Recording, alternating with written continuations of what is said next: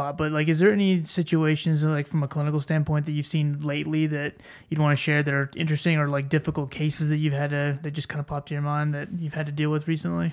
Yeah, you know, I think.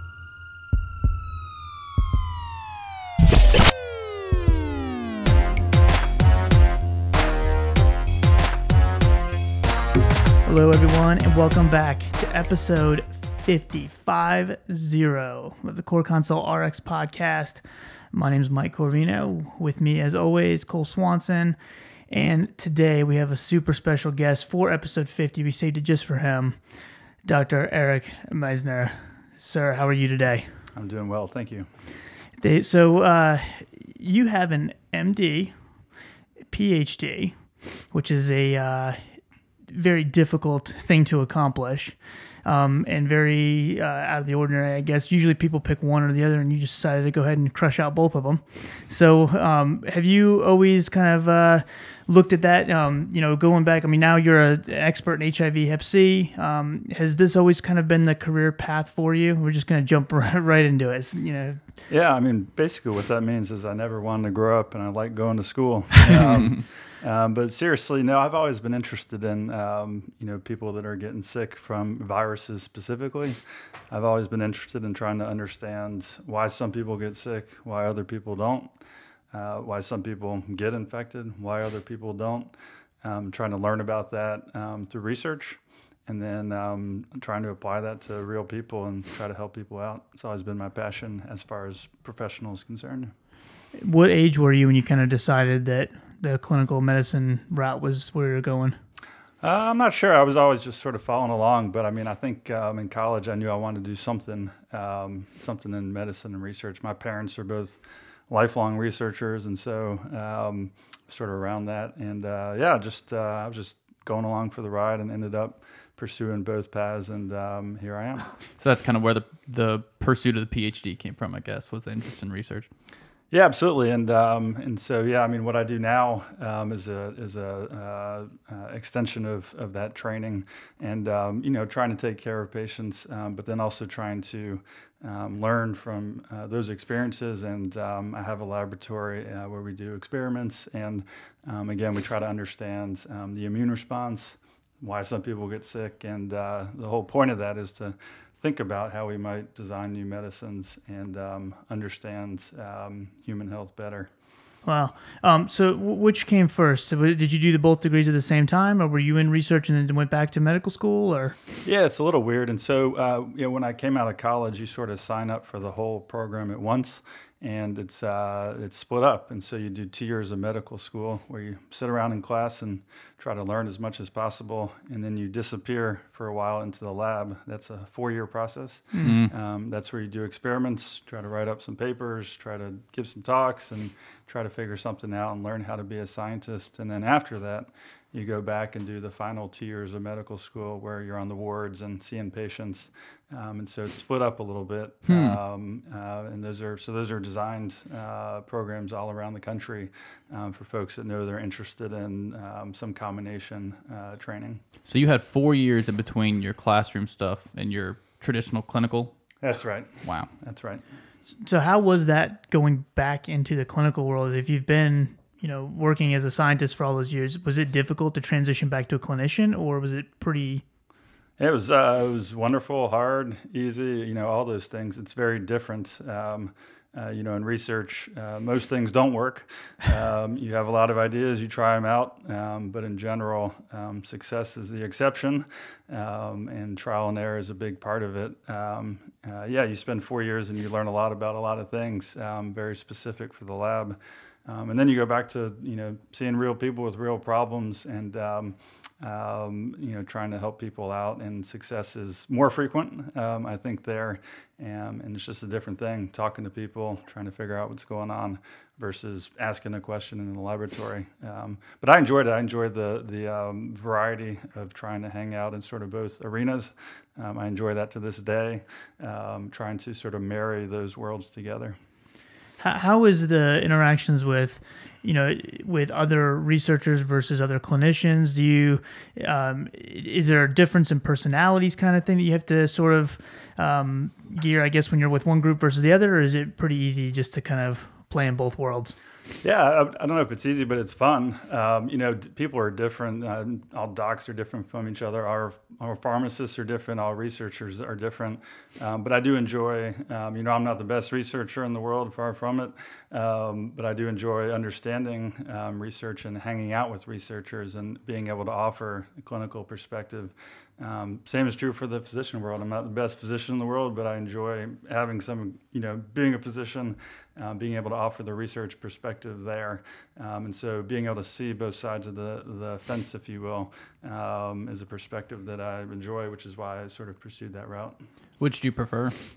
I prefer, um, uh, this is not the right word, but the schizophrenia of, of trying to hang out in all those worlds. Yeah. And so you trade off. Um, you know, I think if you do one or two things all the time, you become an expert at it. So if you're doing multiple things, you sort of trade off with that a little bit. But um, the most enjoyable part on a daily basis is certainly helping patients out. Um, but long term, I enjoy the the struggle um, of the research, um, which is a sort of a month to year sort of thing. Whereas patients patient care is, um, you know, you're seeing patients every day and trying to help them out. So yeah, I like the um, I like the variety. Yeah.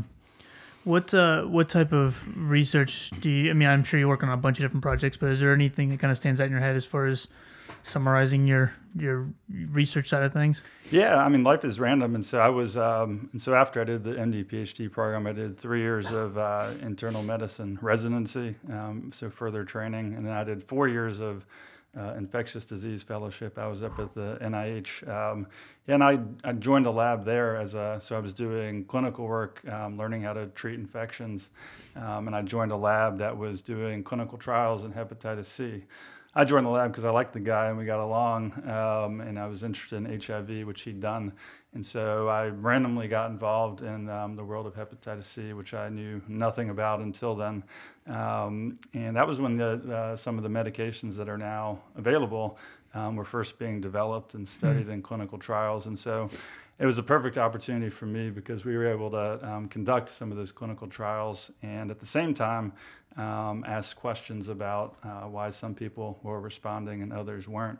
Um, and so the question I was working on then, and I'm still working on to some de- degree today, is uh, why do some patients, um, how are some patients cured with these new medicines for hepatitis C, um, whereas other patients relapse after treatment? Um, is there a reason for that, or is it just random? Um, and so that's um, uh, that's the uh, area I've been working on the last couple of years. So you've really been able to be a part of the landscape completely changing for both of those disease states with treatment, HIV and Hep C. That's pretty awesome. Yeah, and hepatitis C. I mean, the amazing thing it's been warp speed. Um, when I started um, uh, there as a clinical fellow, um, and I mean, I was in that lab in uh, five years ago.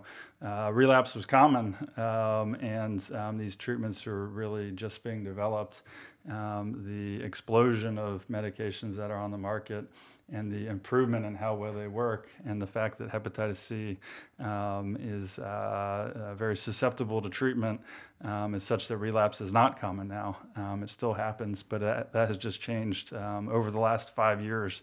Um, and it's a tribute, I think, to scientists um, pharmaceutical companies, physicians, patients, clinical trials, um, uh, and, you know, all starting with basic science, but ending up with drug development. Yeah. And it's just gone faster for hepatitis C than it has um, for many other things. Um, yes, tremendous advances in HIV as well that continue to this day, um, but the rate um, at which hepatitis C sort of moved uh, was something else. Right. So, do you enjoy uh, kind of a lot of researchers are obviously involved in academia as well? Do you enjoy um, the academic side of things? Do you enjoy teaching? I, think you're you're a professor at MUSC as well, right? Yeah, yeah, and so um, yeah, I like being around um, uh, young minds and smart people as I get older, um, and so yeah, being around medical students, um, graduate students, um, uh, pharmacy pharmacy students, et cetera, and delivering care, and uh, but also helping to try to set a good example and um, um, try to talk about how to think about things is uh, definitely something I enjoy. Uh, what you get when you work in academia too is, um, as opposed to um, you know out out in your own private practices, you do get um, infrastructure and a team and administrative help and pharmacy help, and um, and that uh, makes it easier to do your job for sure. So yes, I definitely enjoy being in that kind of environment. How um how do you feel as far as the the challenge? Which which is more challenging for you, um, Hep C or HIV? Yeah, Hep C is um, there are different challenges, um, and so the the type of challenge is different. Hepatitis C, um, the medical part, uh, the treatment part, um, once you know what you're doing, is uh, quite easy. Um, if you don't know what you're doing, it, it can seem hard. Um, but it's like riding a bike. Once you know how to do it, you remember how to ride a bike, and you don't fall off. Uh, the real challenge with Hep C is hepatitis C is uh, finding everyone um, that needs treatment and getting those um, persons um, into a setting or a situation where they can get access to the treatment. Um, that is the, the, main challenge today. The economics, the public health, um, the medications, and the treatment themselves. Um, yes, there are steps to follow, and yes, you need to do it right. Um, but it is not a situation where we're limited in terms of our medical options. Uh, the tools we have medically are fantastic and they work for nearly all patients. And so, getting those um, fantastic um, options to the patients that need them, many of whom are undiagnosed, um, that is the real challenge um, in front of us. HIV um, is slightly different. We know um, uh, we have a greater sense of uh, I guess there's less undiagnosed persons with HIV. Um, there are ongoing active um, transmissions. South Carolina is, is, quite high in that. Um, we do have fantastic tools there as well, um, but it's a different sort of um, different sort of entity. Hepatitis C you treat, cure, um, and that's it. If they have significant liver disease, you still have to assess that. Um, HIV is lifelong therapy, um, and at the moment is taking a medicine every day. And so the, the kind of treatment and the nature of treatment um, is a little bit different um, uh, for those two different infections. So for Hep C, is there a concerted effort towards getting non-specialist primary care docs trained and comfortable with just treating that, so they don't even have to refer them out unless there's significant uh, cirrhosis or other issues going on? Yeah, I like the way you put it, concerted effort. Yeah, I'm not sure if there's a concerted effort. Um, you know, I'm not sure. Uh, uh, I think the, the world of hepatitis C um, doesn't quite have any um, as many resources um, for the coordination of concerted efforts. Um, uh, and so, yes, um, but the second part of what you said is absolutely true. And so hepatitis C is very amenable um, to treatment by a variety of different medical um, specialists. Um, and there are so many patients with it that um, it is important um, to have people across the medical spectrum trained in delivering that. Um, uh, if we relied on just um, subspecialists um, to do it, there's a issue of patient to physician ratio um, that right. is that is challenging. and so, yeah, there are a number of efforts ongoing in the state. for example, there's a telehealth run out of USC that we participate in um, to help um, non subspecialists um, deliver good hepatitis C care. Um, I do agree with uh, what you said, though, is, um, um, you know, in our state and others, it would benefit. certainly from continued concerted efforts uh, to deliver the message and to, you know, have a, in theory, a integrated, coordinated uh, health infrastructure such that wherever you live, rural, urban, uh, whatever insurance you have, um, you would have access to someone that could treat hepatitis C. Right. Um, but there's certainly a lot of work to do on that front. Yeah. The uh, the telehealth program is that uh, specifically for you know clinicians who are dealing with actual patients, or is it for continuing education? All the above. Yeah, excellent. And so, I mean, hepatitis C telehealth, um, particularly out west, um, took uh, was one of the first examples of that working really well. Um, I won't go into that history, but what we do is, um, uh, and so it's a collaboration run out of USC. I participate, and uh, Vanderbilt participates, and it's a provider to provider telehealth. And so, um, non subspecialist primary care physicians who are in, um, you know, sometimes federally, federally qualified health centers, um, free clinics, um, who have an interest um, in taking up hepatitis C they'll submit cases, um, and then we all get on three times a month, um, and we discuss um, the cases and the details, and we um, share ideas and advice about how that particular patient would benefit from treatment.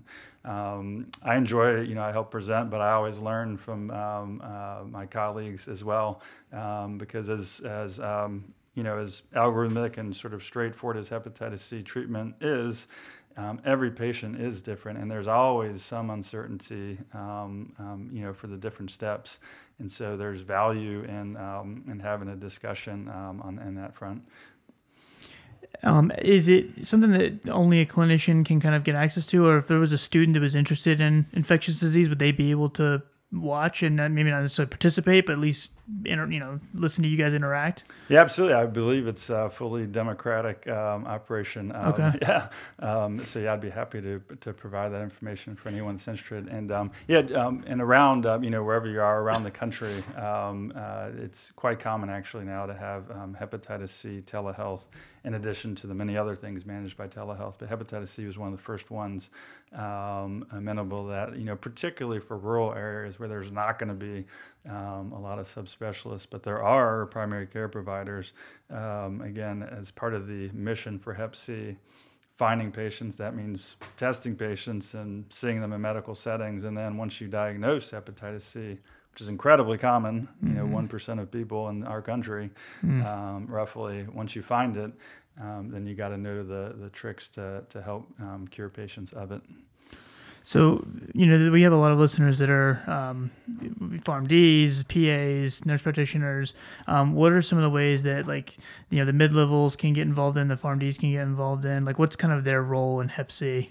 Yeah, their role can be front and center. Um, and so hepatitis C is fully, completely amenable um, to being managed um, by PharmDs, PAs, nurse practitioners, et cetera. Um, I think the key is, um, you know, for hepatitis C, um, there is an algorithm for how to cure it. The most important thing is figuring out where your patient's liver is at. And so if your patient does not have significant liver disease, say they're 25 years old and they got infected two years ago, mm-hmm. you can cure them and their liver is likely to be just fine for life. On the other hand, um, if you have a 65 year old patient who's had infection for 40 years and has cirrhosis, um, then the, the ante goes up a little bit, if you will. Um, not only should you cure your hepatitis C, um, but then you also need to fully understand and address the liver disease um, and sometimes um, that's best um, done by a, a, liver specialist. In other cases, that can be managed, depending on the details, by a primary care provider. but as a provider caring for a patient with hepatitis C, in addition to curing everyone, you got to figure out where their liver is at and uh, make sure you tend to that. as an example, if you do have cirrhosis and you have hepatitis C, yes, you should be cured uh, immediately, um, but you deal, still do have some risk of the complications of the liver disease as you age, and so that needs to be monitored um, over time. Gotcha. So, um, kind of you know this seems to be a, a big passion of yours. I mean, I, you're taking time to talk to us now. Um, yeah, just for those of you listening, um, you know, you came and talked to me and uh, uh, my boss at uh, one of you know the, the, clinic that I work at, and uh, in the middle of the day, spent time coming and talking to us for a while. I've learned a ton just from sitting there and listening to you just for a couple hours. Um, you know, have you have you always kind of had this passion towards um, you know? I asked you this a little bit earlier as far as the infectious disease component or was um, you know Hep C? Is this kind of just built up in, in HIV too? I'm sure, but is this kind of just the passion? Is that sort of built up as you've gotten to know more of these patients and kind of gotten more involved in the you know in this profession? Yeah, I mean, I um, again, I enjoy just trying to help people out um, with whatever it is that I know. Um, you know, and for hepatitis C, coming and talking to you guys, I mean, now that we have the tools, um, you know, the medical tools are there. There's really no excuse not to figure out a way um, in whatever setting patients are at. If they're at a, um, if they're uninsured and they can't access, um, you know, care wherever they can access care somewhere, and wherever that somewhere is, um, we best figure out how to get the um, the knowledge for how to treat um, hepatitis C um, there. And so, um, yeah, I mean, my passion for talking to people is is because there is no excuse not to sort of spread the word about about what we have at our disposal. You know, five, ten years ago, very different. Treatment was injectable interferon with very high side effects mm-hmm. and lower likelihood of cure. And so the the impetus and the oomph to roll that out to everybody all at once, um, the the ratio was different, um, less likely to work, more likely to, to harm you with side effects. that ratio cannot be more opposite um, today, and so that's why there's uh, again there's no excuse not to um, find a way to to get this um, treatment to patients um, in the setting that they find that they are with um, drug prices generally just remaining high, we have cheaper options for Hep C and stuff now. Is it seeming like the prices are going to be going down? Insurances are going to cover it uh, more readily, uh, or you know, does it look like we're going to have to wait 15, 20 years for patents to start running out before it'll be more ubiquitous. Yeah, you'll get me going on cost here, which um, I enjoy talking about. But um, yeah, I think there's a few messages there. Um, in the last few years, due to competition um, amongst different pharmaceutical companies, the price has indeed gone down. Um, so it is still expensive, um, but it is not expensive as expensive as it used to be.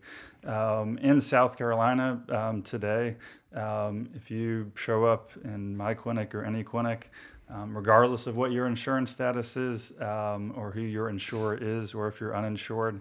Um, there are tricks within our healthcare system um, to get you access to the medication.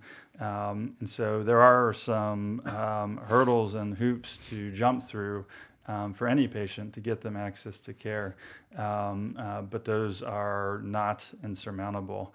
Um, for me, the number one predictor of hepatitis C cure is who actually comes to the appointment. Mm-hmm. And so if you come to the appointment, um, you get the blood work done, um, and you go through the steps to get access to the medicine. Um, you know, the treatments these days have a 95 to 98% cure rate. Um, the number one predicting predictor of not getting cured um, is not coming to your appointment, um, and that can be for a variety of reasons: active substance use, um, transportation, didn't know you had an appointment, in jail, have other things going on. Um, um, but if you are able to to, to come to care, in spite of the cost of the medication uh, we're usually uh, uh, good at, uh, at, That's usually not a barrier to right. cure. That's great. It really is a unique situation because you mentioned HIV pills every day, probably for the rest of your life. Diabetes pills every day, probably or injections even, probably for the rest of your life. But 16, 12, even eight weeks, you can be completely done with treatment, and it's just follow up from then on. That's pretty interesting why you, and this is probably the most simple question I'll ever be asked, but you know, why was it so, e- I don't want to say easy, but why was it, were we so quick to find a cure for hep C versus HIV? Ah, wonderful question. And so, uh, number one, I mean, there was a delay um, with respect to HIV for hepatitis C in terms of drug development, even though we knew about them for sort of the same amount of time. Um, and part of that um, had to do with hepatitis C was very hard to grow and culture in the laboratory. Um, and so HIV you can um, uh, isolate from a patient and pretty easily in the laboratory grow it up and study it. Um, hepatitis C was not as amenable to that. Um, and so, not having the, the ease of study in the lab for basic scientists um, was one barrier for hepatitis C. Um, the absolute key for hepatitis C is that it is a flavivirus, um, which is um, it's an RNA virus, and so it does. Um, I guess starting with HIV, HIV is a retrovirus, um, and the reason it is so successful is that it um, uh, into, turns into DNA uh, within your cell and then becomes integrated in your own DNA. And so that is a challenge with HIV is we cannot get that integrated DNA out of our own cells. Um, we have not figured out a way to do that yet, um, with the exception of the one patient um, who's been cured of HIV. Um, hepatitis C is a very different virus. It's an RNA virus. It does not get integrated in our cell. Um, and so it requires constant replication every single second of every single day over decades. And so, if you can roll in and block that process with a drug, you can wait hepatitis C out. And so, when you treat patients for 8 to 12 weeks and you shut down that process that that particular virus requires, that continuous replication, um, you can eliminate it. HIV, you can treat patients forever, but because it's integrated in our DNA, um, that's why we can never wait it out. Um, and so the the nature, and this is the interesting part about you know understanding the lab and the and the patient, the nature of the virus, like the kind of virus it is, is why hepatitis C is so easy to cure, and HIV and hepatitis B um, is another example are incurable um, because we haven't figured out a trick to get that integrated DNA out yet. Hmm. Fascinating. So I, I, may have been living under a rock, but um, you said that we've actually cured a patient with HIV. Yeah, so there was, um, uh, if you want to Google it up, um, he's uh, known as the uh, Berlin patient. His name is Timothy Brown, and um, it's, uh, it's a case that um, sort of um, uh, revitalized or uh, further vitalized the HIV research community. Um, he was a patient that had hematologic malignancy, um, and as part of the treatment for that malignancy, had to go um, undergo um, chemotherapy and stem cell transplantation. Um, his um, clinical uh, physicians um, undertook it upon themselves to try to design that therapy in a way that would make it harder for HIV to infect his transplanted immune system. Um, and as it turns out, um, they were successful. Um, and so he's been followed now for many years um, since he um, survived his chemotherapy and transplantation. And there's no um, signs of residual HIV in his body. this is not a treatment that is uh, could be considered for any normal patient with HIV because the risks of that are so astronomically high um, but it is a proof of principle um, that um, if there is a safe way, perhaps, to recapitulate um, that sort of approach, um, that um, the virus can be, in theory, eliminated. And so uh, many of the current ongoing um, uh, studies for HIV that are sort of at the cutting edge um, uh, revolve around how do we um, try to get rid of that reservoir that is stuck inside of um, infected patients. Are there any tricks that we could do to sort of get it out or coax it out or physically remove it? Um, short of giving someone this really dramatic treatment that he needed because he had this cancer.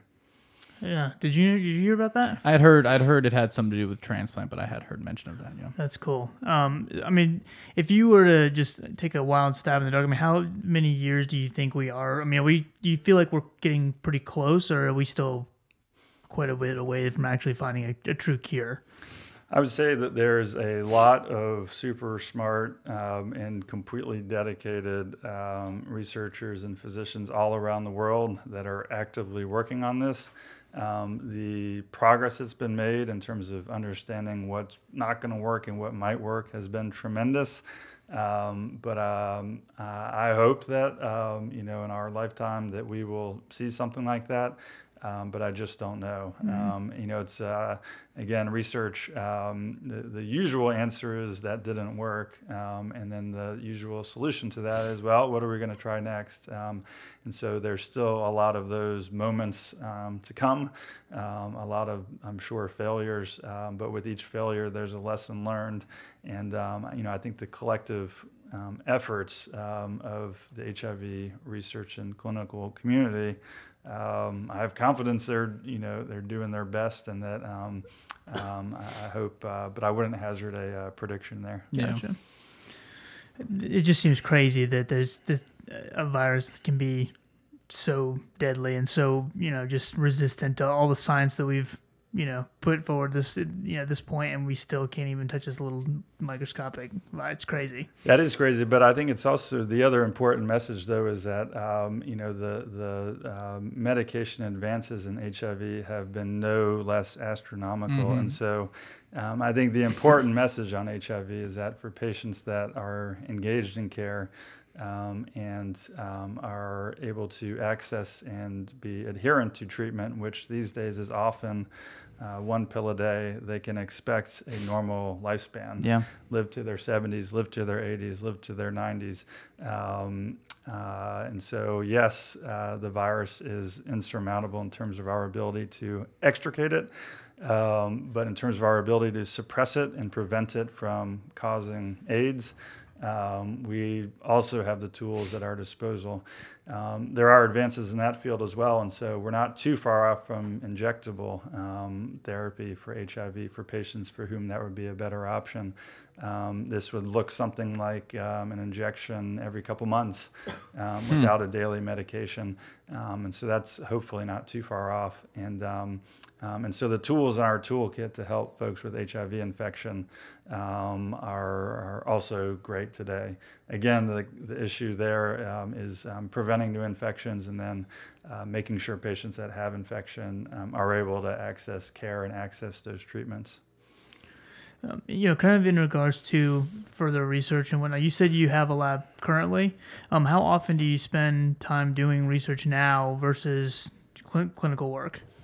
Yeah, um, yeah. Don't ask me what my day looks like, um, uh, but um, uh, yeah, every day is a little bit different. Um, you know, I have a regular clinical um, clinic schedule. I also work in the hospital um, at different times during the year, and then I have a lab with a technician and a student in there, and then I have a variety of other wonderful academic uh, responsibilities. And so yeah, each day is a little bit of everything, and you know the challenge is uh, finding the time to do everything um, as well as possible. Um, but that's also what I enjoy, um, sort of bouncing back and forth between um, seeing a patient and you know trying to design an experiment. Um, that's uh, what my training was supposed to be for, and um, yeah, I still enjoy trying to balance that to this day. Yeah. You, is that for you? Because I know for me personally, and I'm, you know, for Cole as well. I know this doing this kind of stuff, talking about evidence-based medicine and whatnot, for us is in a nerdy way fun. So like a lot of people always will say to me, you know, oh, you're gonna burn yourself out, you're gonna do this, but where some people like to go to the beach or some people like to do whatever, I enjoy this. You know, it's not in my normal job, but I get to still discuss and talk about medication and pharmacotherapy. Do you feel kind of the same way to where you're is that just fun for you? I mean, work is is your fun. That's your hobby, if you will. Yeah, um, uh, yeah. I'm not going to say that every day is a cup of roses right, right, and right, cup of tea, course. but um, but yeah, but no. I mean, I think for any job, if you're not enjoying it, you're going to burn out, and it doesn't matter what it is. And I, I'm I've been very fortunate along the way. I've been given every opportunity um, to do what I'm doing. Um, the the road for me um, um, you know, I've been helped by so many people, and so I, I basically can't complain um, uh, when times are tough because I've had such um, such opportunity to do what I enjoy. And yeah, it's interesting. I mean, you never know sort of where the path is going in your life and what you're going to do next.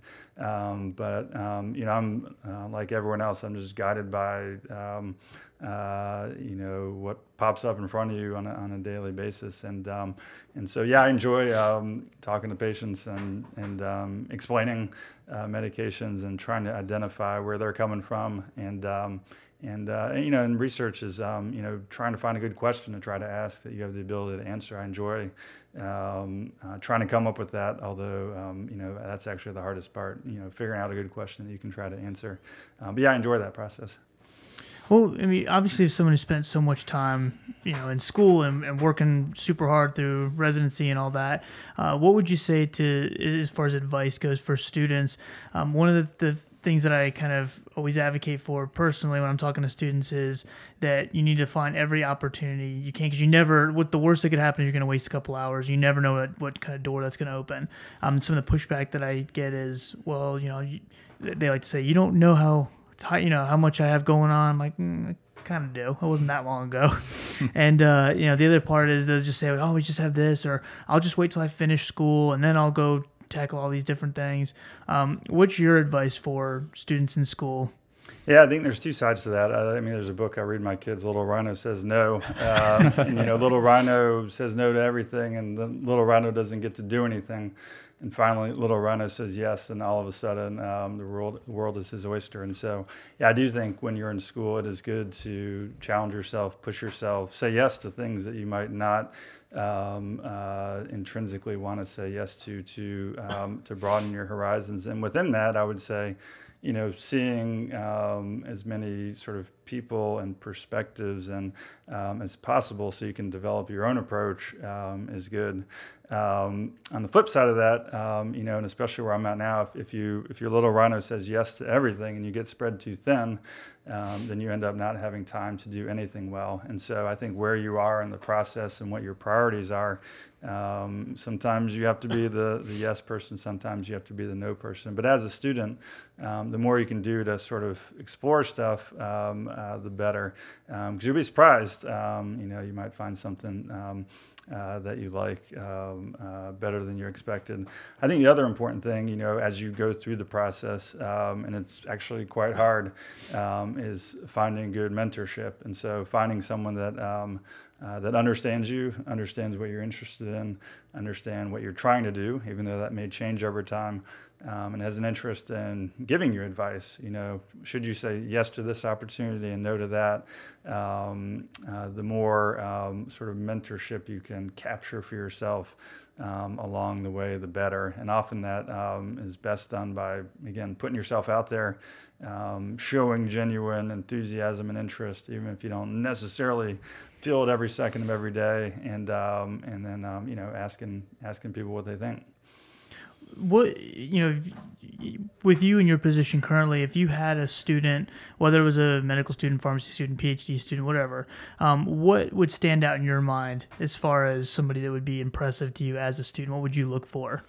Yeah, I think the most important thing in life is um, uh, is you got to care, um, and so um, you don't have to be the smartest. You don't have to be the uh, you know the the most amazing personality, um, uh, but you can't sort of fake effort. Um, I tell my kids this when they're, uh, uh, you know, when we're when we're doing stuff, you can't fake effort. And so, I, you know, for me, um, I value effort um, uh, above all, um, and trying. Um, it sounds simple. I mean, just trying your best, um, being persistent, and um, and caring. You know, I, to me, that's the most important thing. Obviously, you're, if you're a patient and you are seeing a doctor, you're going to value that they know what they're talking about. but in terms of uh, you know, trying to find an answer, sticking with it you know, this this the answer here is no, the answer there is no. You just keep keeping at it and being persistent. Um, to me, that's what um, always impresses me because it's hard to do because um, we're all spread thin and we're all tired, um, and so um, stick to itness. Um, I, I certainly value. So, what's next, uh, kind of for you personally? What's your next big challenge or hurdle that you're trying to climb and get over, a goal, if you will? Yeah, my goal is, um, uh, is uh, first and foremost um, be present and around for my family. Um, I got three kids and a wife that we live uh, live here. Um, they're going through elementary school, public school, and so that's uh, goal number one. Um, you know, goal number two is um, to continue to plug away in our HIV and hepatitis C clinic. Um, there's always room for improvements and new ideas, um, and so we continue to work um, uh, on those fronts in the clinical realm. In the research realm, um, that's the hardest part, um, and um, what I'm uh, trying to do is uh, take the lessons that I've learned from understanding hepatitis C and think about how, how those might be applied to other areas like HIV or hepatitis B. Um, and so I certainly learned some things from hepatitis C through clinical care and through my research efforts about the immune system. Um, and the question is, um, um you know, how can we, um, how can anyone that learns something about anything then apply that to the next thing um, that is in need uh, of further study? And so hepatitis C we need to get that drug in people's bellies um, that have the infection. That is um, the biggest need. Um, it's not like we really need a new drug uh, for hepatitis C. The ones we have now are phenomenal. Um, but for HIV and hepatitis B that are incurable, um, uh, there's still work to be done. Um, and so uh, my next big thing, which is what I've been thinking about for years, and you know it's hard to get there, but you know what question in that area am I with my background and skill set able to ask? and so that's something I think about on a daily basis. Very cool. Uh, so, like you said, we have such great drugs for Hep C. I mean, is that kind of where the research stopped, or is there still a whole bunch of stuff in the pipeline for Hep C as well? Yeah, you know what we need for Hep C research um, that we still don't have is we don't have a vaccine. Mm-hmm. Um, and so, you know, Hep B, we all get vaccinated uh, one second after we're born these days. Um, and so we have a phenomenal vaccine for hepatitis B that uniformly prevents infection. Um, that is not in existence um, for hepatitis C. And part of that is, again, goes back to the nature of the virus it's highly error prone, highly variable, and so designing a vaccine for something that shifts around and moves so much um, uh, turns out to be um, hard. The other thing about vaccines is, um, you know, usually Mother Nature is is way smarter than us, um, and so, um, you know, if you get hepatitis C and you um, get cured or you clear it on your own you can still get infected again. And so, even though your body has been through the war of this virus, if you get exposed again, you're sort of can be back to square one. Um, and so, it's a shifty virus um, that takes advantage of um, the fact that it lives in the liver, which is prone to not sort of overreact. Um, and so that was a long-winded answer to your question, but um, what we really need for hepatitis C um, is a vaccine. Um, in terms of drug development, though, um, yes, there are some patients that still relapse with our greatest drugs, um, but the drugs that we have on the shelf right now will cure the vast majority of patients if we can get those drugs where they need to be. Right. So if the virus does, you know, change and shift and whatnot, so as far as like becoming reinfected, you said that for Hep C, right? So is there a chance then that we're going to start seeing resistance pop up now that we've been curing these people? Is that going to be something that you think will be a big problem coming forward? Yeah, and it's interesting. And so um, uh, I don't think it's going to be a big problem. It is an issue that we deal with um, today. Um, and so um, I won't go into the specifics, but um, and so there are some first line hepatitis C drugs that will cure 95 to 98% of patients. Um, but for that 2 to 5% of patients, what happens is you treat them, it looks like it's going great. You can't detect the virus, but then it pops back up in the three months after you finish treatment. If you then go look at that virus, sometimes you'll find that it has uh, acquired um, a resistance um, mutation. The good news is we have several approaches um, for retreatment of patients who have failed treatment. Um, and so resistance um, um thus far um, is not an insurmountable barrier for the vast majority of patients. Again, HIV, when you get resistance, um, we sort of think that it's sort of in you for life because of this reservoir and because of this integrated DNA. But because hepatitis C reinvents itself every second of every day because of the kind of virus it is. Um, an RNA virus, it never goes to our nucleus. Um, um, uh, resistance, um, big picture, while we still have a little bit to deal with there, um, is is not the same sort of issue as it is for um, for HIV. That makes sense. so, kind of, I guess, if, and this is kind of putting you in the spot but like is there any situations like from a clinical standpoint that you've seen lately that you'd want to share that are interesting or like difficult cases that you've had um, to there's a lot with hepatitis C and had I to think, deal with um, recently? I mean I yeah you know, a couple think, messages in the way i could answer that. Um, you know and so i mean we haven't mentioned this but the most common way to get hepatitis c is through intravenous drug use.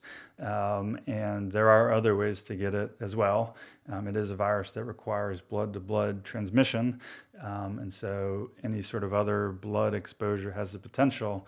Um, but the vast majority of patients that are acquiring that infection um, is through an intravenous drug route. And so, um, yeah, I think the message is, um, you know, and there we have an opioid epidemic, which includes a lot of people that are uh, struggling with active intravenous drug use. I think the message is, though, is that um, patients that are active intravenous drug users um, are just um, have just as good success and cure rates as those without. Um, and so um, it used to be five or ten years ago when we were sort of stuck with these injectable treatments that if you had active substance use or active mental health um, struggles, that it was challenging to even entertain the idea of treating hepatitis C. Um, but there's really no patient for whom hepatitis C treatment um, can't be considered. Um, I think the only sort of exception is if you have someone that is um, an active alcoholic or an active intravenous drug user um, to the point that it's unlikely that they could um, be adherent with taking a medicine every day. then you may want to pause and think about getting them the, the resources they need to treat their um, addiction. Um, but if you have, and I hate to use this expression, but if you have a, a functional, um, you know, adherent with medications, intravenous drug user, there is no reason um, um, that you um, should not treat them. And I'll just, um, again, this is a long-winded answer, no, but good. yeah, but so I've had some patients um, that I've um, decided sort of to treat when they were still in the midst of struggling through some stuff. And hepatitis C is, it can be very forgiving. And so I had a patient that was not adherent with their medication, did not take it for the entire duration prescribed. Um, but that patient um, was lucky. And so, hmm. um, not every patient needs eight or 12 weeks. Um, they actually did trials of four weeks of therapy, yeah. and about 30% of patients were cured. Um, and so, this particular patient didn't take it the right way and didn't take it long enough, yet she was cured hmm. Um, because she had enough treatment for what her particular immune system and her body need, needed to get rid of that, uh, that virus. Yeah. And some people can just clear it completely on their own, correct?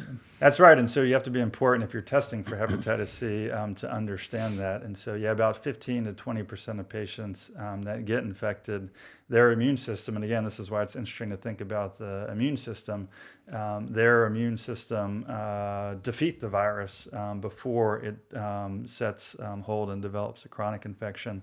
That battle is waged by all patients in the first six months of infection, unbeknownst to the patient, because there are usually no symptoms. Um, but about 15 to 20 percent of people um, will get rid of the virus on their own. And the way that gets discovered is they get a screening test for hepatitis C, um, which shows that they had infection before. And then if you then go look for the virus, which would be the confirmatory test, you find that there is no virus. Um, and so the vast majority of the time, um, there are some exceptions, but the vast majority of the time means that that's a person that had hepatitis C, um, but that got rid of it on their own. Fascinatingly, they did a big study to try to figure out why that happened. Um, and they figured out that it had to do with host genetics mm. um, and the immune system um, and the variability between people, um, you know, that makes us also different from each other. Um, this one particular gene and area ended up having a big importance for um, who gets rid of it on their own. Hmm. What what do you like? Do you know offhand like what that gene actually like coded for? Was it a certain ethnicity or was it a certain type of immune cell? Yeah, and, and, so that's one of the things that I'm interested in the, in my laboratory research is um, is trying to understand that a little bit better. And so, um, yeah, that phenotype of who clears the infection on their own maps to one of the interferon genes. And hmm. so, um, you know, we used to treat patients with um, interferon injections, but every single time you get a cold or the flu or whatever infection, um, one of the first parts of your immune system that gets turned on is this interferon system, um, whose job is to alert you to the presence of a virus and um, prepare you to fight it off. That almost always works for all infections, um, but for chronic infections, um, that obviously hasn't worked. Um, but so the nature of the interferon response to hepatitis C, which goes back to host genetics, um, ends up having a huge influence on who gets rid of the virus on their own and um, who develops chronic infection. Hmm. That's interesting. Um, so, what about uh, you know? Is there anything that comes to mind? Just because I know some people are going to want the you know who don't work in this are going to want some of the case studies, if you will. Um, is there anything that comes to mind as far as interesting um, cases that you've had with like drug interactions or something that had never been studied before that you had to kind of analytically work your way through? Yeah, uh, I, am trying to think of something sexy for you here. Um, um, yeah, no. Um, uh, yeah, I mean, so in terms of um, you know what you do as an H hepatitis C provider is yeah, there are some issues like drug interactions um, to sort through. Um, I mean, there's always um, uh, there there are again a few tricks along the way. Um, in terms of a, um, uh, a, a super cool story in case I, I gotta turn off my brain here for a second and run through my list, but I'll, let me think about that. okay. so I guess uh, I'm gonna go through. I had uh, several people ask questions on Instagram, so if it's okay, I'm gonna read some of them through now and just kind of see what you think. Great. Um, let me pull some of these up real quick. Um, one of them I remember offhand. Was asked by uh, he's a pharmacy student. I want to say P three, maybe P four. Um, his name is Vince, um, and uh, he uh, he's really interested. I've talked to him before and interacted with him. He wrote a blog for me just to kind of highlight some stuff he's doing. He's real passionate about um, substance abuse disorder and mental illness and things. Um, so he asked what it, your thoughts were about like community pharmacies um, administering clean needles um, to people who are coming up without you know making them identify insulin use or something like that. Um, do you think that that's, um, in your opinion, you know, obviously without getting political or argumentative, um, do you think that uh, that's a something that we should be advocating for? Or do you think it's a from a public health standpoint a good thing, or do you think it's a a, a, a uh, way of letting them continue their habit, if you will. Yeah, yeah. You know, it's interesting. South Carolina doesn't have any needle exchange, um, yet we certainly have a robust um, opioid epidemic, including intravenous drug epidemic yeah, I definitively fall on the spectrum of um, providing clean supplies to patients um, is not something that is keeping the epidemic going or encouraging patients um, to use. And so, um, yes, I'm not an expert in the field, um, but providing um, patients access to through whatever venue to things that are going to reduce disease transmission um, you can count me in on that. Um, I mean, I, in terms of my own practice, if I'm taking care of a patient, um, you know, that we're treating for hepatitis C that is still working through um, substances, that's part of the message is, um, um, hey, we're going to do this and get you cured up and let's work on your substance use problem. But in the meantime, you know, we appreciate that that's a, um, an illness just like any other. Um, it's not going to go away overnight. In the meantime, let's make sure um, that you um, take steps um, to to avoid reinfection. Yeah. And so, um, yes, I would be a, a firm proponent of mm-hmm. access to anything that will prevent disease transmission. Yeah, I think there's. It's weird that it seems to be like kind of like the stigma, as if like by us not providing these clean needles um, somehow hinders them from actually going, you know, engaging in this habit. And it's well, that's not how an addiction works. I feel like there's enough data to kind of support that that's not going to. We're not helping anyone um, really overcome addiction by just keeping them from having needles versus having, you know, behavioral therapy sessions and things like that.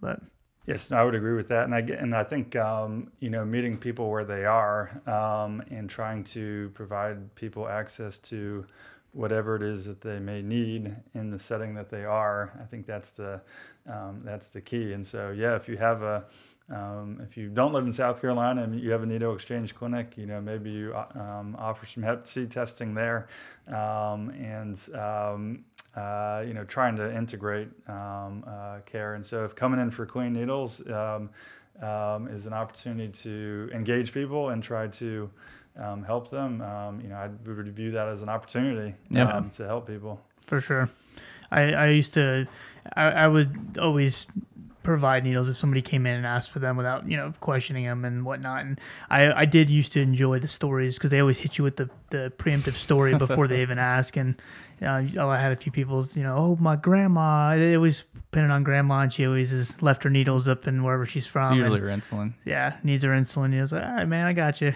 Let me go get grandma her needles. so I, I used to enjoy that. but um, all right, so let's see. Somebody just asked. Uh, the question: Epclusa or Mavyret?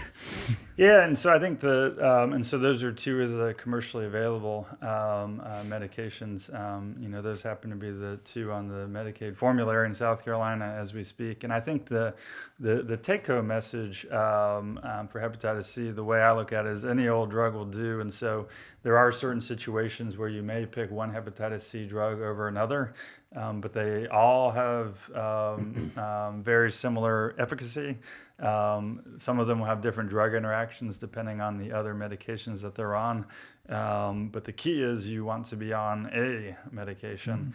And if your insurance company or provider pick one over the other, I would not lose a wink of sleep over it because um, they will all um, um, they will all do the job.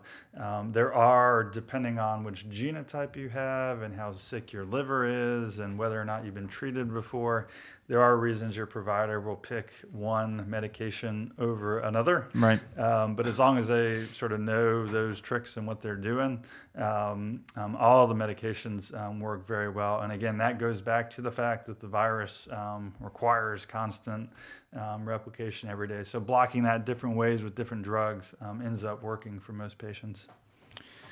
we had one person say that they have had three patients that needed their therapy changed because of a delay in treatment.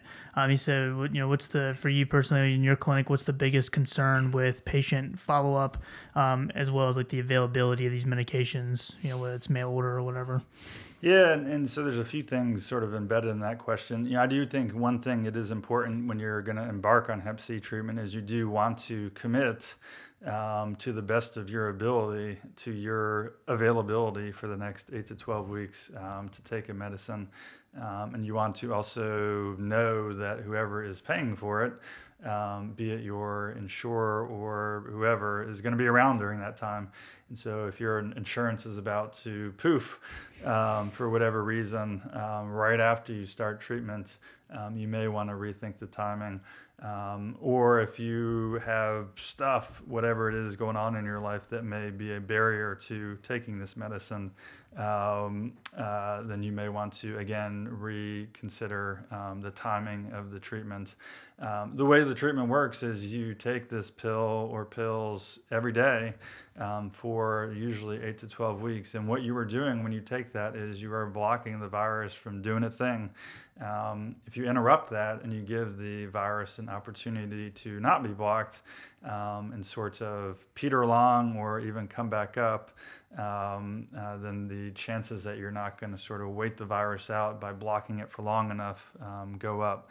Um, yeah, and so uh, I'm not sure if I answered quite that question, um, but um, yeah, you want to make sure the patient, uh, the provider, and the payer, when you start, are sort of committed um, for the anticipated duration. And then once you start, um, you just want to make sure that, um, you know, life happens, stuff happens, but to the best of your ability, you want to make sure that you're ready to roll. Um, and again, it's not lifelong or a year or six months, it's two to three months. Um, and um, uh, you just want to be ready when you start. Yeah. What about in regards to like the pharmacy aspect? You know, getting the medication dispensed. Um, you have specialty pharmacy access at the medical university, but have do you have to actually send the prescription out to certain mail order pharmacies that the third parties have contracted with? Do you have any issues when it comes to that area? Yeah, that's a whole that's a whole conversation. But um, uh, yeah, I think the first point there is um, sometimes patients come in and they expect you to pull it off the shelf, like um, you're giving them uh, Keflex for cellulitis or something. Um, and so yeah, these medicines do um, you know require prior authorization, and you when you as a physician go um, ask someone to pay um, tens of thousands of dollars for the treatment, um, you do have to have your sort of ducks in a row in terms of the genotype and the viral load and the HIV status and the hepatitis B status, and you know you're not pregnant if you're a woman of childbearing age, and so you do have to have all those um, ducks in a row. And it's interesting, yeah, we do have our own specialty pharmacy um, at our institution, but we also have uh, many patients that are insured um, that cannot have their medicines filled there, and so um, uh, the patients I care for, some of them um, who are uninsured, get the medication from the um, support programs of the pharmaceutical programs themselves, um, and that's in part because our state didn't expand Medicaid. Um, some um, have their medicines filled through an outside specialty pharmacy that is contracted with whoever their insurer is, um, and other patients have their medicines filled through our specialty pharmacy. The way that I interact with the patient um, actually does in part depend on who's filling the medicine um, because different specialty pharmacies sort of provide different things. Um, the one thing that sometimes gets dropped in terms of dropping the ball is, um, yeah, and so if you're being treated for two or three months, you're basically going to get um, either two or three shipments of the medicine. And what you don't want, and this occasionally happens if um, communication is not stellar, patient doesn't pick up the phone, pharmacy doesn't call back, UPS doesn't, you know, whatever. Um, occasionally there's an inadvertent delay between the months um, if there was not smooth operation with the med refill. Um, often these are shipped to patients' houses or picked up. Um, at, a, at a local pharmacy. And so you want to make sure that um, whoever's filling the med um, has got game in terms of communicating with the provider and the patient um, to avoid um, uh, completely unnecessary treatment lapses. Good. Let's see. Um, this is kind of switching gears a little bit to the HIV side of things, but um, there's two a couple people have asked about uh, your thoughts on dual therapy. Um, for pa- patients who are uh, viral suppressed uh, with HIV. So things like um, the Juluca and whatnot. What's your thoughts on using two agents instead of the three or four like we've been? Yeah, and so um, yeah, so the standard of care for HIV, um, because of um, emerging resistance, because it's lifelong, has traditionally been um, three highly active antiviral medications. Um, we now have good data um, that for the right patient, um, and by the right patient, I mean someone that does not have a lot of um, archived resistance mutations, um, that two drug therapy, as our uh, drugs have approved, can be very effective for the right patient. And so, yes, we do have an FDA approved medication for use. And furthermore, there's uh, multiple ongoing clinical trials um, in progress for either treatment naive or treatment suppressed patients um, looking at um, dual therapy. Um, one of the main um, regimens being pursued for injectable therapy is also um, dual drug therapy. and so, yeah, as the, the HIV uh, medications have improved over time, the uh, efficacy and potency of them um, are such that some patients can be managed um, uh, with two drugs alone. There have even been trials of uh, monotherapy um, with one drug, and that's um, not recommended and has not panned out. Um, um, but I think the, uh, the, the take-home message is that there are many patients for whom a two-drug therapy may be appropriate as long as the rules for the use of uh, those medications are adhered to. Right. And one of the, I guess, arguments against it that I've heard, and you did kind of address this already, but um, like with dolutegravir being one of the drugs they typically use, or that's one I think they've studied in monotherapy as well. Um, that's the integrase strand inhibitors is one of the areas where we actually see the least amount of resistance, especially with like a big bictegravir now. Um, and they people are saying that well now we're about to introduce a whole bunch of potential resistance because we're using these um, without their you know, two nuke backbone. Um, do you think there's some concern with that, or is that just kind of what you were saying about the patient specific? Yeah, you know, I think we need to, um, you know, a lot of these drugs are are new, um, and so you know there's sort of a bit of a hiatus there um, a few years back where there wasn't a whole lot new coming out, but there's been a mini um, uh, explosion of single tablet regimens in HIV um, that incorporate some of the, in particular, new integrase inhibitors that are highly potent, um, do have a high barrier to resistance. And um, again, this goes back to research. I think those concerns, time will tell.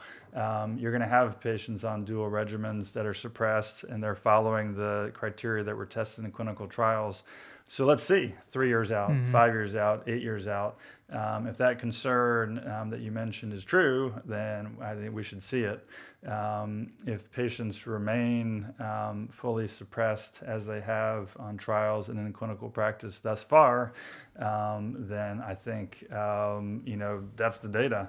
Uh, how we feel about it is important, and what we think is important. But I think the most important thing is what does the data actually show, and and you know to get to be an FDA FDA approved um, dual therapy regimen.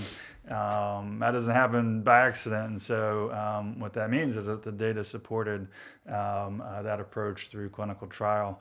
Um, again, those medicines haven't been around um, for decades. and so, we just have to see over time. but by every criteria we use for uh, approving or considering new medicines, uh, you know, the ones that have approved have sort of met that standard. That's good. Um, another question that uh, came up that I thought was a pretty good one was when is TAF not suitable for an HIV patient? Yeah, and so TAF, um, what that refers to is tenofovir alafenamide. Um, uh, the uh, original iteration of tenofovir was tenofovir disoproxil fumarate, or TDF, and so um, in recent years um, they basically um, switched up um, the, the formulation of that medicine such that the actual milligrams you take for the same anti-virologic benefit um, is much less because of the way the drug is metabolized. Um, and so the impact of that medicine on your bone and kidney health um, for TAF compared to TDF or tenofovir disoproxil fumarate is much less. Um, and so, yeah, TAF thus far appears to work just as well as TDF. Um, but appears to have a better side effect profile. Um, there are still some patients um, who um, you know, if they have significant renal disease, for example, um, uh, that's probably the, the, the best example um, where you may not even want to use um, a TAF based regimen. Um, and you may want to um, think about um, other HIV regimens that may be more uh, safe and convenient for renal dosing. and so uh, does that answer that question? Yeah, no, that's good. Yeah, I think so. Did um, this is totally off subject and random, but um, have you have you given talks on TAF maybe like 2016 or so at the uh, Columbia symposium, the HIV Hep C symposium. Did you talk there at all? Uh, I've talked there, but definitely not on TAF. I'm no mm. expert. No. Okay. Um, did, did, I, I feel like I've seen you speak on at one of those symposiums before. Have you been there in the last few years? Yeah, I was there a few years ago, but uh, definitely didn't talk about TAF. okay. It might not have been TAF. I'm trying to remember. I feel like I've seen because um, I remember thinking I was like, man, that guy's really tall, mm. right. and he, has got a lot of letters after his name too. but um, yeah, that was a really. I went there uh, after right after I graduated, I think, just for kicks and giggles, and um, I was like uh, like blown away by some of the research that had come out because I had very little uh, interactions with that in school. So it was a pretty cool conference. That means uh, that identifies you as someone that's still in their 20s. Am I right? no, I'm so I'm 30. Oh, I hit the, I hit that 30 mark. Yes. All right. My condolences. yeah, it was it was brutal. Cole's still in his 20s. I Cole's, Cole's like 21. Oh, I'm yeah, basically. I'm in the wrong room. In my heart. Yeah. Um, so, you know, what kind of uh, resources should students, students, or even clinicians, or you know, practicing pharmacists, whatever, who are interested in learning more, what would some of the resources that you would recommend that they kind of seek out if they want to learn more about this and get more involved? Yeah, I think um, uh, first and foremost for the clinical part, I think this is a good example of, um, of teamwork and working together. And so, um, you know, the old school way to do um, treatment guidelines or recommendations was to get a bunch of people in a room and write up a big paper and publish it in a, in a journal. Um, but what they were able to do in the, the world that we live in is the, um, the liver experts, um, the AASLD, and the infectious disease experts, the IDSA. Um, they gathered um, a panel of experts in hepatitis C and they generated an online breathing, living resource um, for you and me um, um, to access at our leisure. And so um, that's hcvguidelines.org, and that is a phenomenal way to get yourself introduced to Hep C um, because it'll talk through some of the things we talk to. Who do you treat? What do you monitor? What drugs do you use? Um, why would you choose this one over the other? Um, and it's updated on a regular basis. And so there are still trials ongoing, and it changes. you don't have to wait for the, the article to come out after being reviewed for six months. Um, you have to go to the website um, the day you're deciding what to treat your patient with, um, and it may in fact have changed um, uh, because it is updated by experts on a regular basis. um, the University of Washington has a phenomenal online hepatitis C course as well. And so going through both of those um, um, in terms of preparing yourself to take it on is a phenomenal way um, to start. You know, wherever you are getting involved in um, um, telehealth um, or hanging out with someone that does it, because uh, you know there are as as sort of straightforward as it is, there are some tricks and there are some pitfalls, and so sort of talking through that with someone that may have done it, I think can be a benefit. and then you know there's so many patients that will benefit from this. Um, and it works the majority of the time as long as you again sort of know what you're doing um, that's um, um and then have at it i mean it's incredibly rewarding um, to treat because um, patients generally don't have side effects and it works and they're cured. And so i mean what could be better than that? Um, and so yeah you know get into it read about it and then figure out um, you know who's doing it where you are and um, um figure out how you might add it to what you're doing. I think a great example is you know substance um, use treaters um, that are engaged in patients that are at risk of um, or recovering from substance use is a phenomenal place for someone to um, to pick up and think about Hep C, and that means screening patients, um, identifying infection, providing education, and then um, thinking through how to access treatment. Um, uh, that, that would be my advice. Yeah, awesome, excellent.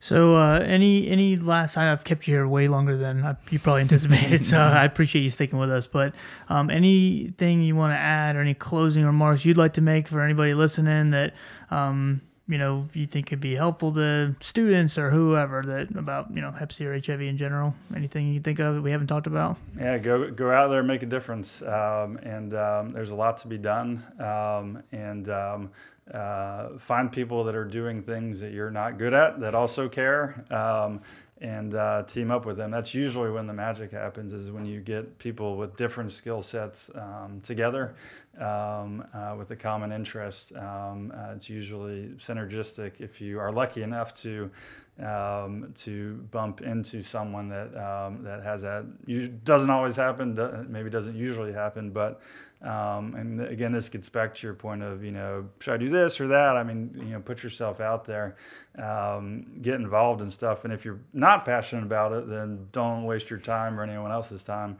Um, go find something you are passionate about because there's a big world out there. Um, but if this happens to be of interest, um, you know, go find some people um, identify the problem. You know, that's the hardest part. Figure out what's the problem. Don't waste your time coming up with some amazing idea if you don't know what the problem is.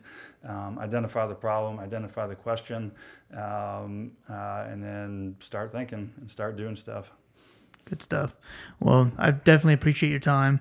Um, Absolutely. Can we? Uh, we'll get the links from you for the if anybody's interested in doing the telehealth and kind of being involved in that. And put it on the website if that's okay. Absolutely. Um, so we'll encourage people to go there because I know I've had several of our followers on Instagram and whatnot reach out to us who have infectious disease uh, interests and thinking about that for residency and whatnot. So, um, and yeah, that is my final point. Why would you go into anything other than infectious disease? that's a good point. Anything else is uh, is just not going to be a good life for you. Yeah. Yeah, it's a terrible life. I can't even imagine. Yes.